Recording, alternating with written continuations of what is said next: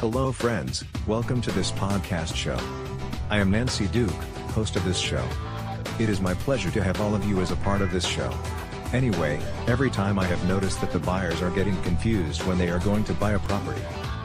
Buying a property in Manteca requires the utmost presence of mind as become a fool would not be tough. All your deal would end up by the ashes.